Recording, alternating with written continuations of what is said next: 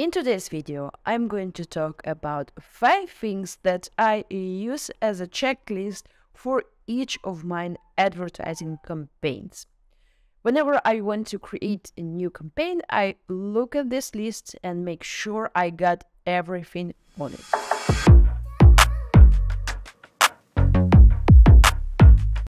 First thing on my list is campaign objective. And before I get into that, first of all, I need to understand how do I want to measure a success of my campaign. It depends on many different factors. What is my objective right now? Like, for example, do I need or do I want to collect leads? Do I want to generate traffic to my website? Do I want to sell a product? So it very much depends on what do I want to do. And then uh, there is what is possible for me to do at current situation. Obviously, in ideal situation, whatever I want to measure is actually available to me, but it's not happening every time. Sometimes clients come to me without a landing page or without even a website and they want to collect leads or sell product. So you need to go with whatever is possible. You need to work with what you get and to see how you can measure success of your campaign. For example, if I will go to my website and I would like to take my homepage and to actually create a campaign using that homepage, what can I measure there? What kind of objective can it be? My homepage has a lot of different possibilities. There are different pages that can be mm-hmm. measured separately. For example, my blog, my case studies, my contact form. Things that you can measure here are impressions, traffic, and engagement. These three things can be your campaign objective. Your campaign objective needs to be clear and it needs to be based on whatever is available to you right now when you create your campaign. Another thing on my checklist is targeted audience. The targeted audience are actually people who would like to purchase from you, who would enjoy your service, who are looking for your services, and so on. But there are also people that are related to your advertising budget. It means that if you're offering something that everyone can enjoy, you don't really have advertising budget to target everyone. And I see that a lot. You need to define your target audience and use just one group for starters.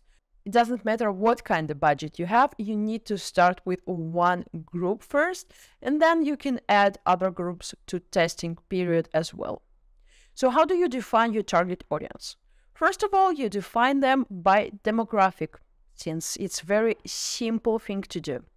You define their gender, their age, their location. And by location, it can be country, it can be city, it can be street, as specific as you can go. Then you can use interests. Their interests can be different. Do they like to go outside? hiking, sport? Do they like to cook? What kind of websites do they visit or what kind of topics are they watching on TV? So you need to define their interest as well. Obviously, you don't know for sure, so you're just guessing what kind of interest will your target audience have. Then there is a behavior.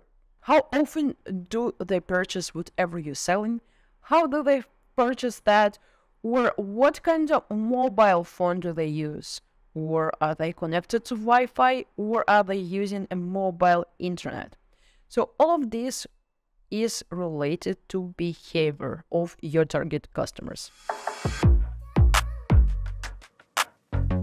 Another thing that we already talked about a little is your advertising budget.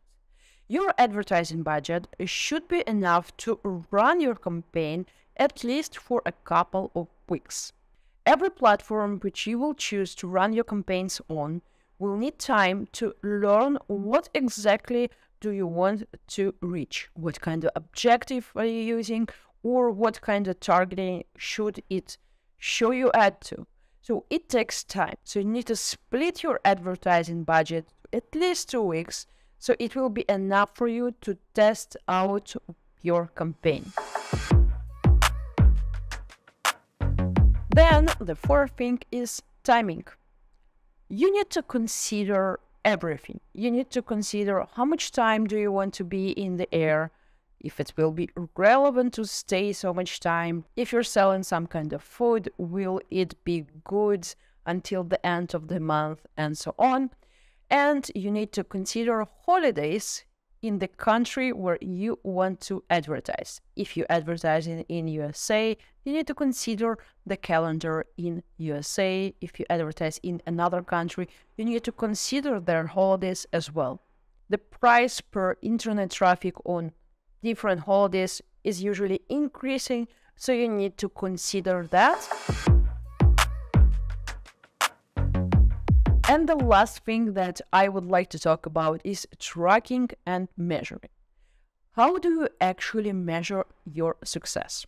When we talked about campaign objective, I told you that if you're going to take my homepage, you have a lot of different possibilities there, a lot of different calls to actions, pages, and so on.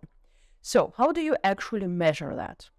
There is a thing that called pixel, tag, actually a code that you use on the platform that you're advertising and you install that on your website. It depends what kind of platform your website is built on either wix or wordpress. You use google tag manager to install that code. And then using google analytics you can easily track what's going on on your website what pages your visitors visit or what campaigns are generating what traffic, what keywords are working, and so on. So you definitely need to measure everything what is going on once you start your campaign to actually know if that campaign was successful or not. I hope this video was helpful to you. Thanks for watching and I see you next time. Goodbye.